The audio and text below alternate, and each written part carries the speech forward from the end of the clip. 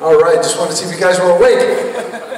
We are halfway through startup number three from the Lion City and IA Lion, all the way from Singapore. Bio 3D, please put your hands together for Fan Ming Wei, everybody. Thank you. Hello everyone. Uh, today I'll be talking about something that will be relatively new to many of you here. I'm sure many of you have heard about 3D printing these days, right? But have you heard about 3D bioprinting?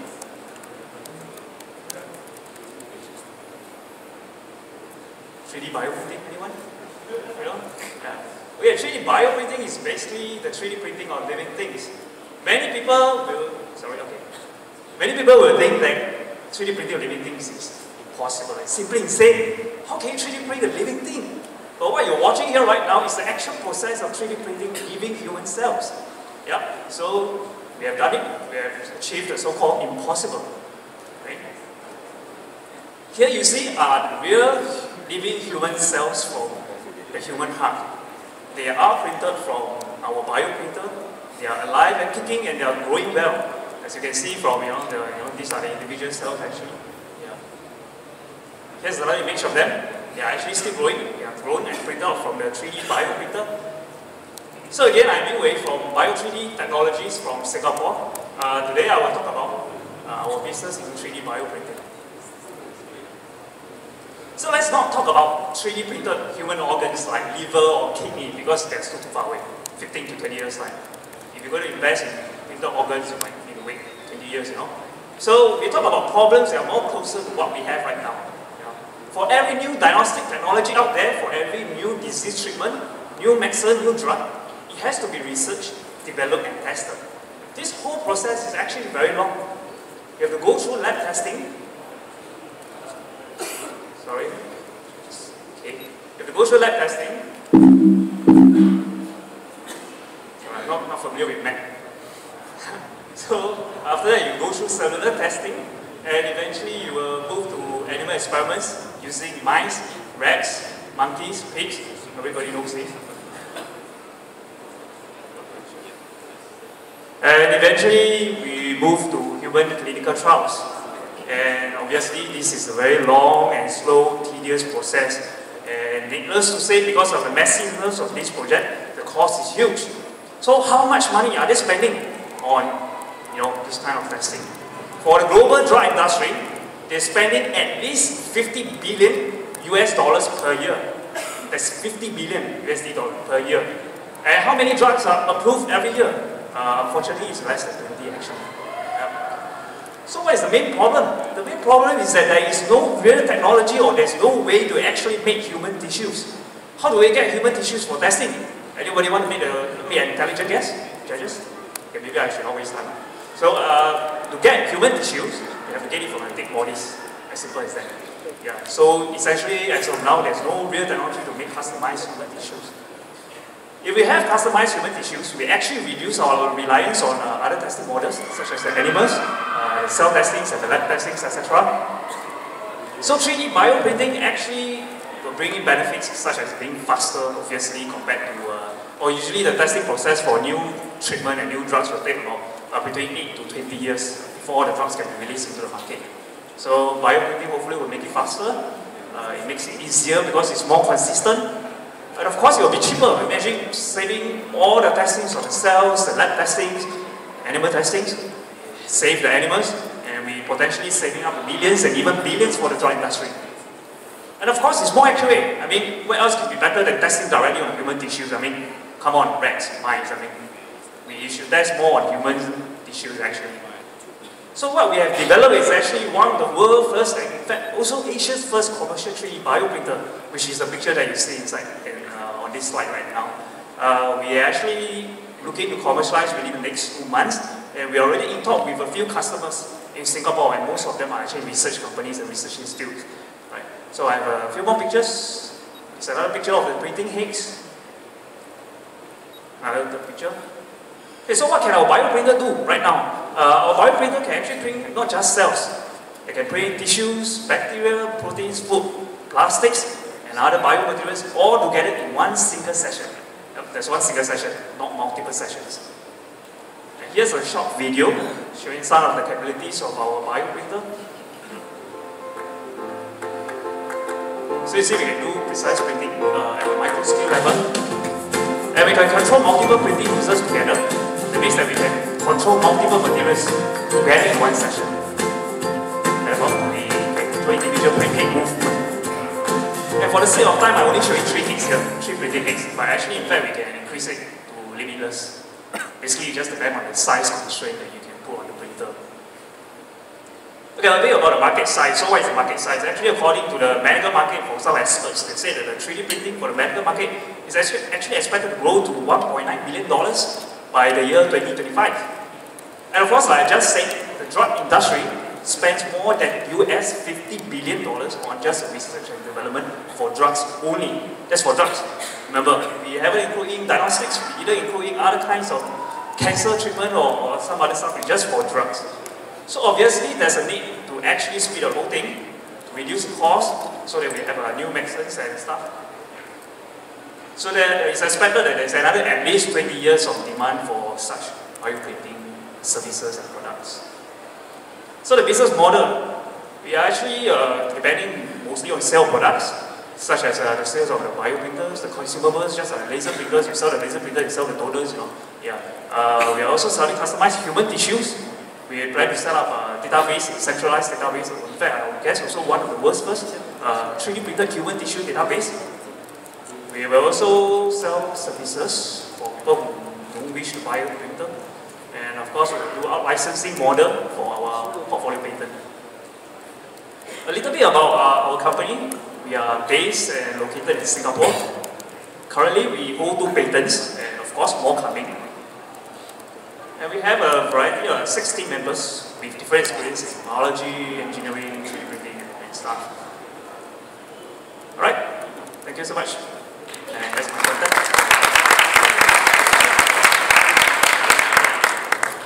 Hi, judges.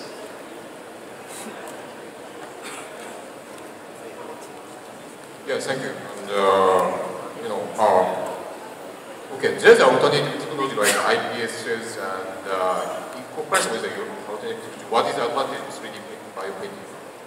So your question is what is the advantage Yeah, of 3D in comparison bioprinting? with, uh, for example, IPSs technology and so on. So basically the question is what is the advantage of uh, 3D bioprinting? Yeah. Okay, very simple. Actually, currently right now for all the drug testing in the medical field, right, there is no method actually do 3D tissue. There's only one method, but it's just simply throwing in a 3D mesh, you know, and then let cells go and so on.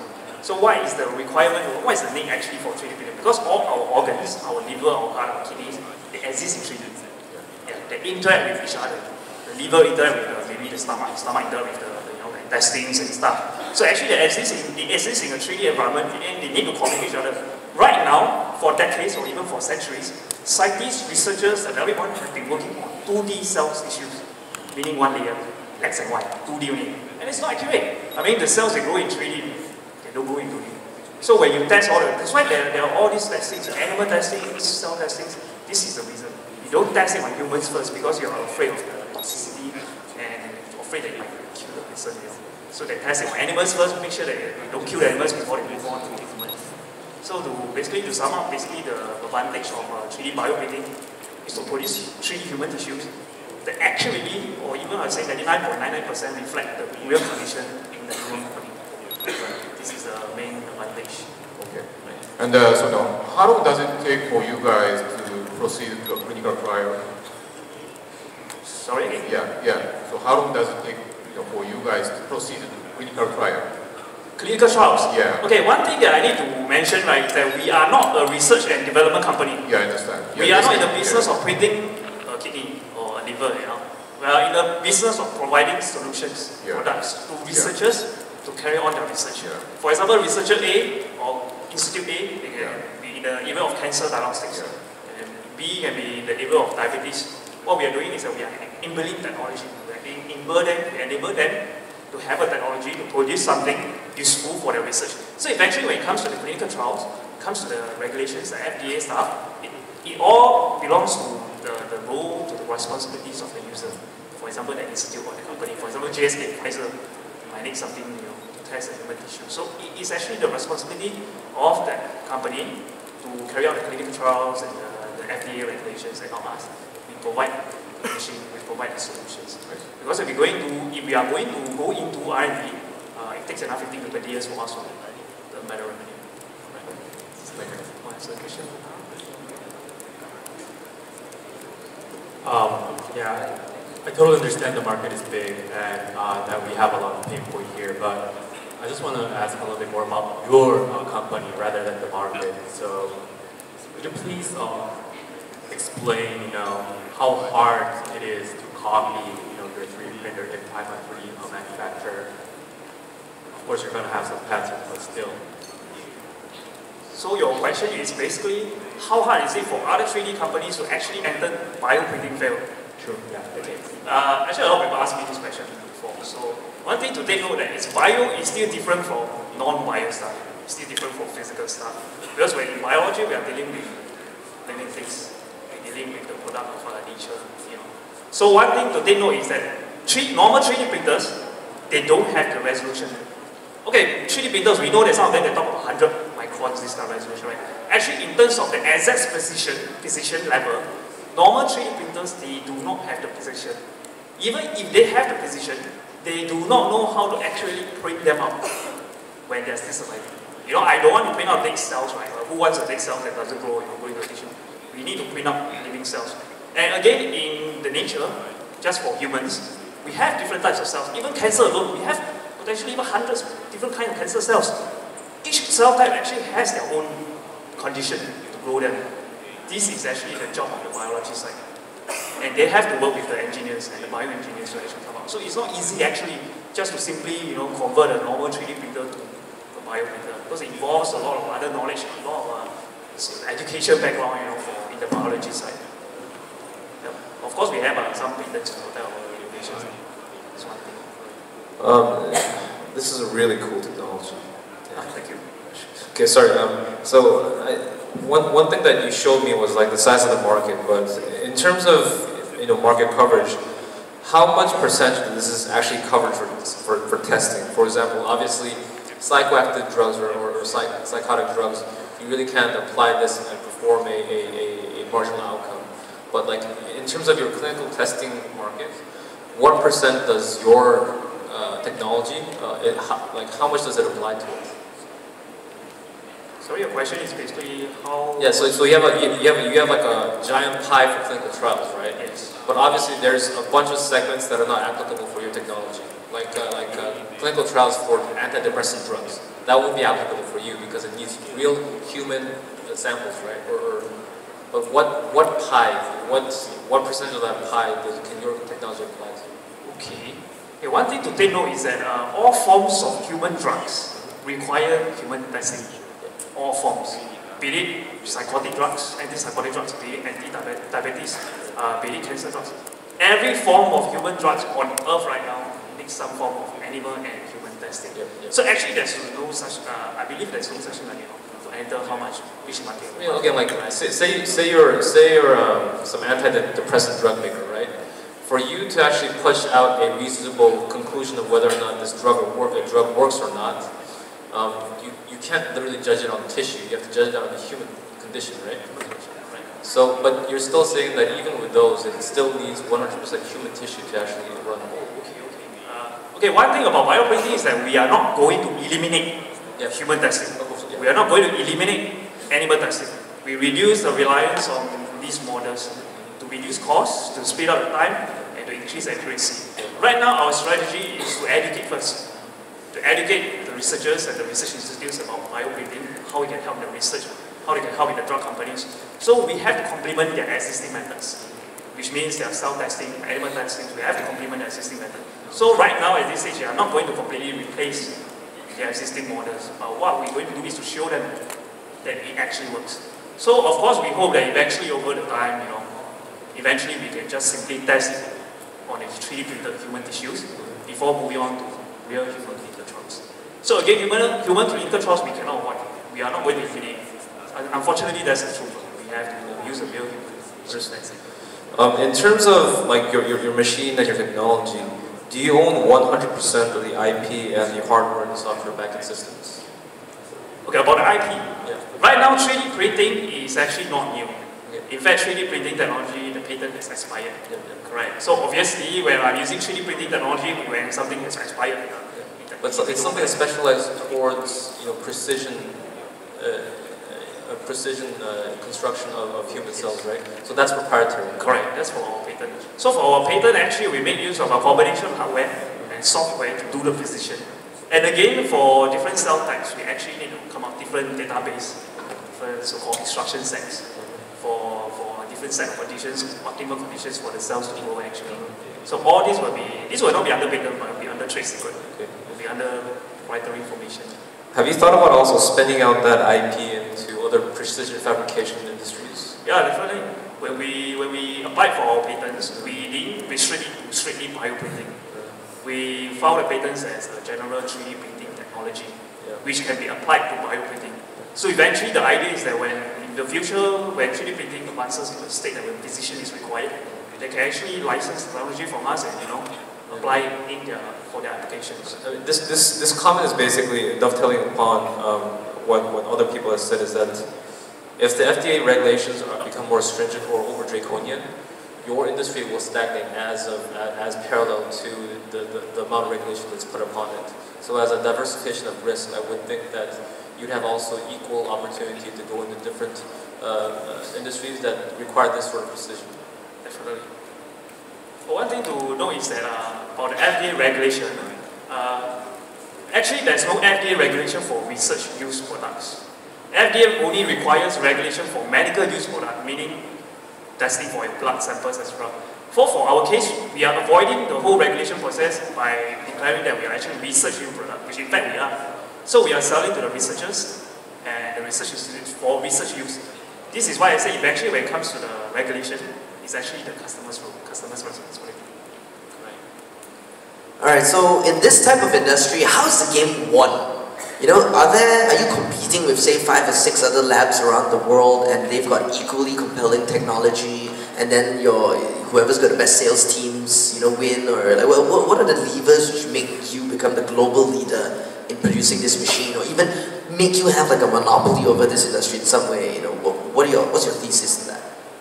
Okay, currently on, on bioprinting right now, right, we only, for us, we only found two main competitors. One in Germany and one in the US. So uh, obviously they have the financial muscle, you know, they have all the resources to do what they want. So again, to answer a few parts of the question, uh, first thing is that uh, labs, they are not our competitors. They are our customers. So instead of building one from scratch yourself, why not just buy one from us you know save your time? You know? Instead of trying to gather all the engineers and biologists and, and different expertise experts together, just buy one from us. We have a ready-made product. We just sell you. Second thing is that for our business model, we are actually very customer-centric.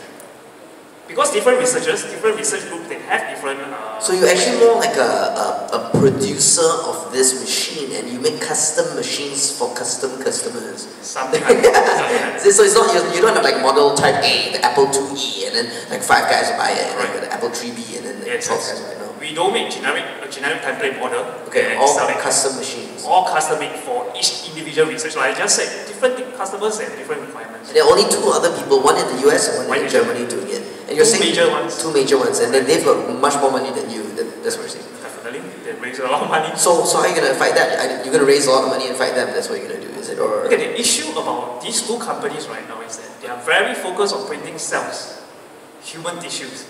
They are not so focused on other type of things. But in fact, in the human body, actually, there are a lot of interactions between cells, bacteria. You know, we all have bacteria in our body, right? I see. So those two guys they print only cells, but you print Only cells. bacteria, food source, other all kinds of. That's why we are highly customer centric. We highly customizable based on your requirement.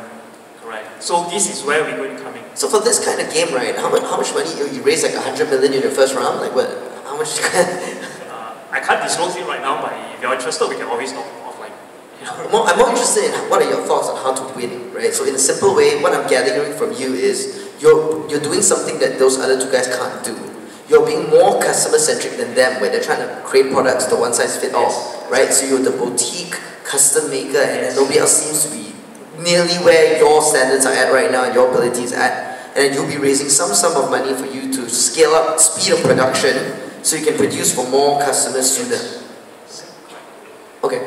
Okay, one point to know is that uh, for our case, because the profit margin is quite high for any biotech products, medical products, so we don't aim for mass volume.